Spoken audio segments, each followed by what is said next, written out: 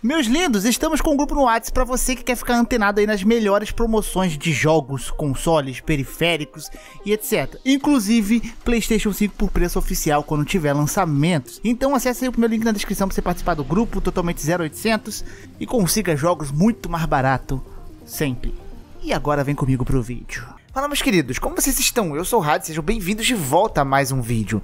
Como vocês podem estar percebendo, eu estou ficando rouco de novo, pois é aconteceu algo que eu não esperava que aconteceria, que é que as speedruns de Elden Ring baixariam no nível abaixo, menor do que eram de Dark Souls 2. Porque Elden Ring é um jogo muito grande. E o Dark Souls 2 era considerado, entre aspas, né, o jogo mais quebrado na versão primária dele ali, porque tinha uma, várias formas de você conseguir ganhar tempo no jogo, atravessar mapa, que fazia speedrun do Dark Souls serem 14 minutos. Elden Ring conseguiu o pódio né, de 17 minutos, que seria o segundo jogo mais quebrado da From Software ali depois de Dark Souls 2. Porém, eu tomei um baita susto quando vi que o Distortion 2 caiu o recorde dele de 17 minutos e 43 para 14 minutos de uma speedrun para outra, basicamente. E agora ele tá fazendo em 12 minutos e 13, que é o recorde mundial. Baixando, tipo, 2 minutos a mais que Dark Souls 2. Isso me assustou muito, cara. E o que tá acontecendo? Por que Elden Ring é tão quebrado assim? Né? E a gente vai fazer um vídeo falando como que eram as speedruns desde quando elas eram dos 30 e poucos minutos até chegarmos nos 12 minutos. O que que mudou? O que que basicamente foi a reviravolta que fez a speedrun de Elden Ring ficar tão curta? Como a gente já fez tanto react, né, do, das speedruns, eu quero fazer um, uma linha do tempo, o que que mudou basicamente pra chegar até aqui. Então antes de começar o vídeo, não esqueça de like, se inscrever no canal, puxa seu banquinho e vem comigo pro vídeo. Então como é que funcionava basicamente as rotas de speedrun em Elden Ring antigamente? Você começava o jogo, você andava todo o caminho indo até a parte da frente do portão, onde você pegava o seu cavalo, você ia depois para Liurnia, de Liurnia você entrava, pegava né, o item que tinha aqui, entrava em Raia Lucaria e dentro de Raia Lucaria tinha um atalho, né, que você pegava morrendo pro bichinho lá, que jogava você para a mansão vulcânica. Isso era feito justamente para você conseguir upar a sua arma por um nível mais forte dentro da mansão vulcânica, né, você precisava avançar dentro dela, onde você enfrentava dois chefes, que eram aquelas duas damas de ferro ali, onde você conseguia sair nesse mapa do platô Altos e você conseguia vir para cá que era a Gruta do Perfumista. Essa Gruta do Perfumista ela era muito importante nas speedruns iniciais do jogo. Da Gruta do Perfumista, né, você podia voltar para cá e falar com o ferreiro Id que ficava aqui em cima e você upava sua arma, deixando ela mais 8, muito forte. Né? E daqui você vinha para os quatro campanários. Esses quatro campanários você podia usar um atalho que tinha aqui que te teleportava pro mapa quase final do jogo, que era Faran Azula. Porém, né, ele se teleportava para uma área de Faran Azula que você não podia sair dela, você não podia prosseguir nesse mapa, era só pra você pegar um item e não tinha como. E aí que funcionava o esquema, você teleportava para essa gruta que você precisava ativar, fechava o jogo e quando você voltava no jogo, você estava em Faran Azula, porém num local diferente de onde você estava, que era no mapa normal. Isso daí o jogo não salvava a posição do jogador corretamente, a grosso modo falando, e te transportava para um outro ponto de Faran Azula. Então você tecnicamente estava dentro do mapa final do jogo já. Você podia avançar por Faran Azula normalmente, você enfrentava ali os chefes da pele divina, você enfrentava o Meliketh. Aí você, depois de derrotar o Meliketh e pegar a runa da morte, você ia para Leidel, onde você podia fazer um bugzinho que você podia pular o Godfrey e você ia direto pro boss final e o derrotava. Essa era a speedrun aí, né, mais longa, assim, que já tinha uns bugzinhos, mas era mais longa. O que começou a mudar? A primeira coisa que mudou foi o Wrong Warp. Era a possibilidade de você conseguir uh, teleportar para Faran Azula sem precisar vir até a gruta do perfumista. Então você já não precisava mais enfrentar aquelas duas carroças lá, aquelas duas bosses de Dama de Ferro, nem nada do tipo. Né? Você podia simplesmente fazer um bugzinho que era viajar para a frente do portão e fechar o jogo no tempo correto. Você tinha um frame certo para fazer isso, onde você só precisava chegar aqui nos quatro campanários. Isso daí diminuiu muito o tempo e conforme foi se otimizando, foi caindo, chegando nos 25 minutos. De 37, ele começou a cair para os 25 minutos das speedruns. Até aí, legal. Porém, O que revolucionou a speedrun de Elder Ring, basicamente, de longe, foi a coisa mais revolucionária do jogo, foi uma coisa chamada Zip Glitch. Esse Zip Glitch, ele funciona de uma forma um tanto peculiar. Você precisa ter primeiro a resolução do jogo no mais baixo possível, porque para isso funcionar precisa ter 60 FPS estáveis. Então você tendo o gráfico no menor qualidade possível, você não vai ter nenhum dropzinho de FPS, né, de 50, de 60 para 58, por exemplo. E aí você tem que ficar nessa animação aqui e apertar meio que para frente ao mesmo tempo. E no momento correto, quando essa animação estiver resetando o frame dela, você apertar para frente, o seu personagem simplesmente vai teleportar. É um tanto avançado por trás, como é que funciona, etc. Mas se você defender e nesse tempo correto você apertar, segurar, apertar para frente, seu personagem vai ser lançado numa velocidade absurda que parece um teleporte.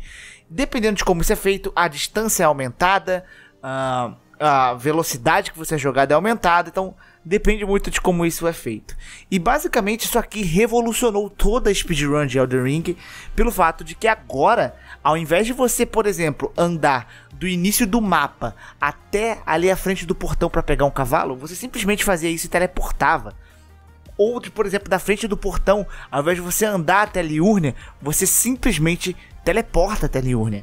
E isso fez o jogo ganhar tempos a absurdos, né? E aí começou a ter até que poder pular alguns chefes. O que ainda era necessário ser feito era poder pegar um machadinho de gelo, upar ele, porque o pisão dele era muito poderoso, porque o Meliketh é um boss que precisa ser enfrentado e ele é forte, e o boss final também. Mas chefes como, por exemplo, a Pele Divina agora, não tinha mais nenhuma necessidade, por exemplo, de serem enfrentados, dava para você usar esse teleporte e ignorar esse chefe. Né? Então, basicamente, isso daí fez o personagem se movimentar muito rápido pelo mapa, ganhando um tempo absurdo, né? E a speedrun começou a cair, decair de tempo, chegando nos 17 minutos por causa disso, o que era bizarro. Agora, por exemplo, você podia simplesmente teleportar de Leidel até Godfrey, até tipo a frente do boss final, sem precisar fazer aquele bug do Godfrey de pular por ele, nem nada do tipo. Era só uma viagem instantânea. E aí agora nós chegamos aqui, porque de 17 caiu para 14, que caiu para 12. E o que mudou aqui? Basicamente o que mudou é que eles otimizaram melhor os pontos que você consegue fazer esse zip glitch, que você consegue teleportar no mapa, usando com mais frequência e conseguindo acertar mais vezes, porque você precisa acertar no tempo certo. Os caras usam até um metrônomo, né, que fica contando umas batidinhas, para quem é músico conhece, ele conta as batidinhas no tempo certo para você saber o tempo que você vai conseguir da animação teleportar. Alguns outros glitches foram descobertos também, né, nessa transição, como usar o bug do cavalo para entrar em Raia Lucaria de uma forma muito mais rápida, né, você saindo do jogo e bugando o cavalo, o cavalo começa a, tipo, voar absurdamente, isso aí também ajudou muito a você conseguir as pedras de forma mais rápida, né, para você chegar até o ferreiro, é só você usar o teleporte, chegar lá e upar a sua machadinha para ficar poderoso, aí você chega no Midcaf, enfim. Porém, acabaram descobrindo uma coisa que é, é a mesma coisa, é, é parte do Zip Glitch, mas que também é um tanto revolucionária. Que é o fato de que era possível, usando o Zip Glitch, pular o chefe final. Tanto Radagon quanto a Fera Pristina. Dois chefes finais, que eram bem difíceis e davam um tempo muito gigante. O que, que isso modificou no jogo? Que antes você precisa pegar a machadinha, upar ela até um nível é, bom para você conseguir derrotar o boss final, isso já não era tão necessário. Porque o único boss agora que você de fato precisa enfrentar é o Maliketh. Então esse bug do cavalo de Raya Lucaria, essa questão de você ir para a mansão vulcânica, pegar todos os itens na mansão vulcânica lá para deixar suas pedras fortes, né? Aí ia para Faran Azula, pegava mais umas pedrinhas e tal, voltava lá no ferreiro, upava, não precisava mais disso. Simplesmente porque dá para derrotar o, o Meliketh usando a machadinha fraca. Você vai perder um pouco mais de tempo, vai, mas esse tempo vai compensar todo o tempo que você teria de ir para uma mansão vulcânica, de você ter derrotado o boss final. Tudo isso porque agora dá para pular o boss final. E isso é incrível, cara. Então, simplesmente essa descoberta de você conseguir pular o boss final simplesmente mudou muito a rota da speedrun, tirando drasticamente o tempo, porque tinha áreas que você não explora mais. Depois de derrotar o Maliketh, você simplesmente era levado para Leiden, onde você podia usar o teleporte até para a área da frente do boss. Agora você não entra mais na área do boss, ele não entrava mais aqui e simplesmente ele executa um zip glitch pro lado oposto do mapa. Porém, esse zip glitch precisa ser feito com uma total precisão, porque lembra que eu falei que dependendo de como você é executado, a distância diminui ou aumenta? Então, se for executado errado, ele não vai pegar a distância o suficiente longe do mapa. Isso acontece na speedrun, ele fala, não foi longe o suficiente, ele fecha o jogo e volta na mesma posição que ele estava. E aí ele tenta de novo, onde ele é suficientemente jogado para longe do mapa. O que meio que acontece aqui? Quando ele é jogado ali para aquela área, ele meio que já ativou o boss, ele já ativou o Radagon ali. Porém, quando ele é jogado para longe, o jogo meio que reconhece que ocorreu algum tipo de bug, sabe? Ocorreu alguma coisa estranha. Isso acontece com alguns chefes. E o chefe meio que trava às vezes no cenário.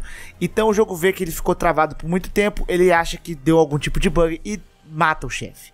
E é justamente isso que acontece, né? Embora não apareça ali, porque ele sai do jogo do, na hora que faz o barulho de que você derrotou o chefe, né? Ele volta ali, tem até uma versão bugada da segunda fase do Godfrey, inclusive, mas o jogo reconheceu que ele derrotou o chefe. Então, ao ali ele voltar na arena principal do jogo, simplesmente vai ter a estátua lá porque ele derrotou, o chefe já foi derrotado e ele vai chamar o final.